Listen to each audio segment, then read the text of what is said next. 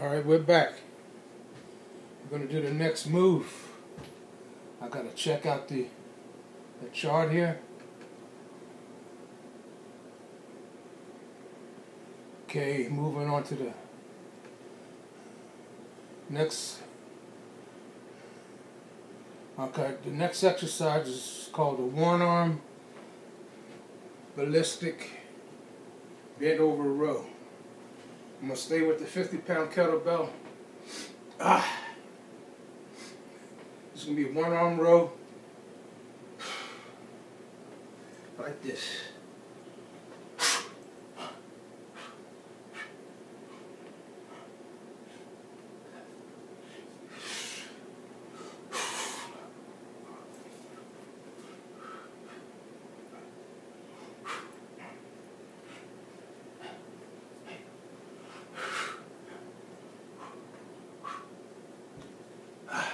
Out of weight there.